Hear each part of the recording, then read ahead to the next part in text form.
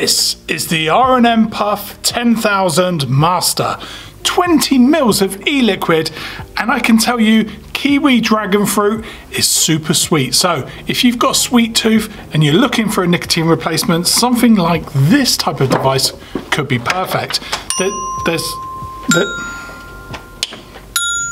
I'm filming It's your turn. You can have a go. Look,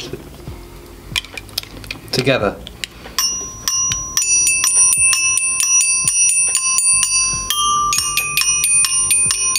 USB-C rechargeable on the base and when you inhale on the device it lights up.